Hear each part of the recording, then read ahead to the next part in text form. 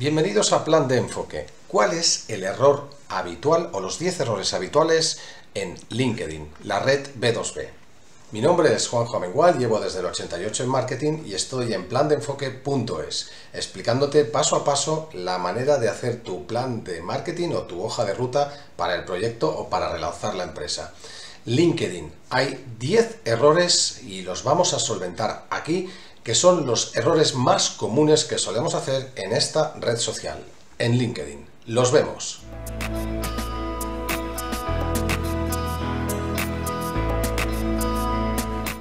Bueno, no me quiero extender mucho, vamos a ir al grano. Los errores más comunes en la red de redes en cuanto a B2B, la número uno mundial en plan de enfoque, los vemos aquí. El primero de todos, pues ni más ni menos que pensar que LinkedIn es para buscar trabajo. Craso error. LinkedIn es una red business to business en la cual todas las personas están interconectadas y podemos conectar con cualquier persona en todo el planeta que tenga una relación profesional o esté en un sector determinado. En segundo lugar, el segundo gran error en LinkedIn es pensar que tu cabecera es tu lugar de trabajo. Jamás. Tú no eres Juanjo Mengual y eres, trabajas en AGN eh, Ancía. Tú eres Juanjo Mengual y tú haces, solventas un problema. Y en tu cabecera tienes que poner tu titular, tu headline es, tiene que responder a la pregunta de cómo puedes ayudar a tu buyer persona, cómo puedes ayudar a esa persona que es tu cliente objetivo. Ese es el segundo gran error que solemos hacer en LinkedIn. Orientar y decir, soy Juanjo Mengual, genero ingreso a las empresas a través del marketing. Por ejemplo, ahí es donde tenemos que hacer un esfuerzo imaginativo y muy potente. El tercer gran error en LinkedIn es no trabajar el extracto principal. Veréis, el extracto principal es aquel donde pone el resumen de lo que estáis haciendo en, en, general. Y ahí es donde hay que trabajarlo, no solamente para SEO, no solamente para decir, oye, las palabras clave que luego me posicionan, recordar que hay un millón de búsquedas al mes en Google en las cuales aparece LinkedIn, por lo cual el SEO, el posicionamiento también es importante. Y ahí en ese extracto debemos, debemos de explicar a quien nos visita qué es lo que hacemos, qué solucionamos a nuestros clientes y cuál es nuestro background, cuál es todo lo que hemos hecho a lo largo de nuestra vida profesional. Por supuestísimo, hay que poner redes sociales, hay que poner webs y hay que poner documentación en PDF que para eso lo permite la herramienta. Cuarto gran error, ni más ni menos que no tener página de empresa. Por favor, es gratuito, es importante y no solo por el posicionamiento. La página de empresa, además, es el puente para hacer publicidad y generar contenido patrocinado para que el resto de empresas nos vean. Y ya veréis lo que os cuento. Al final LinkedIn es que te vean. ¿No queréis hacer branding? Pues tomar dos tazas, pero con una página de empresa, con un loguito y algo que sea con una buena imagen corporativa. Quinto gran error, ¿lo veis? Pues sí, no pertenecer a grupos donde estén tus clientes. LinkedIn nos permite pertenecer hasta 50 grupos. El craso error es juntarnos con gente de nuestra calaña. No, tenemos que identificar quién es nuestro cliente objetivo y meternos allá donde esté nuestro cliente objetivo. Porque es allá donde nos tiene que ver nuestro cliente objetivo cuando nosotros comuniquemos un contenido relevante en nuestro perfil. No gente que es nuestra competencia. Quiero decir que si soy periodista, Vale, está muy bien estar en un grupo de periodistas, pero lo suyo es estar en un grupo donde haya empresarios y que vean que soy un crack de la comunicación. Es un error muy común. El sexto error es no generar contenido relevante para tu cliente objetivo. Es un error en general en todas las redes sociales, pero aquí en LinkedIn hablamos de pasta, hablamos de negocio.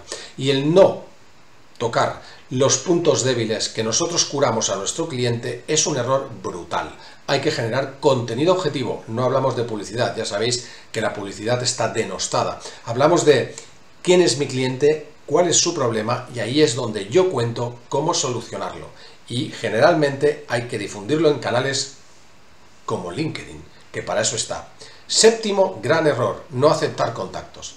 Vamos a ver, en LinkedIn se dice que el negocio lo haces con contactos de segundo grado.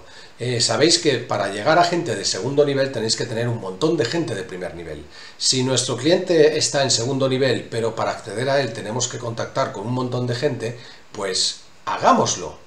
LinkedIn permite hasta 30.000 contactos por usuario, no te los vas a gastar todos en una noche. O sea que contacta con mucha gente porque los amigos de tus amigos son tus futuros clientes.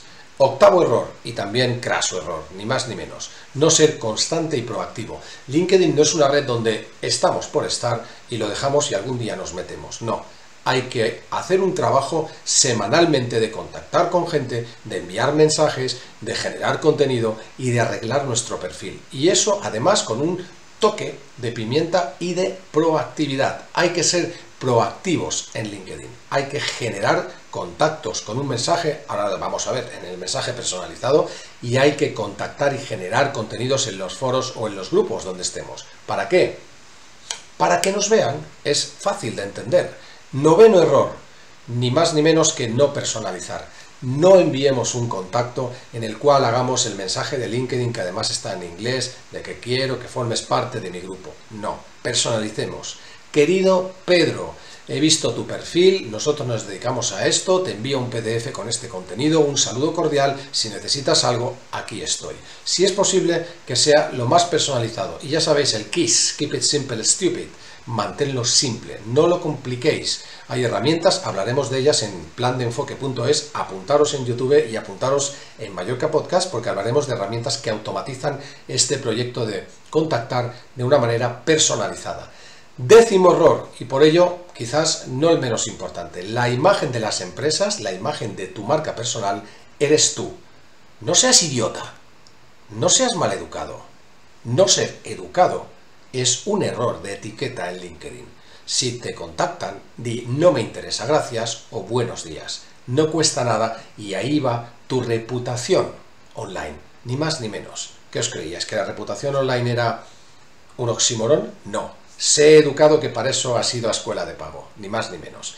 Al final, resumiendo, QTV, ¿qué es LinkedIn? Bueno, LinkedIn es que te vean y esa es la intención que nosotros seamos capaces de que nos vean en LinkedIn.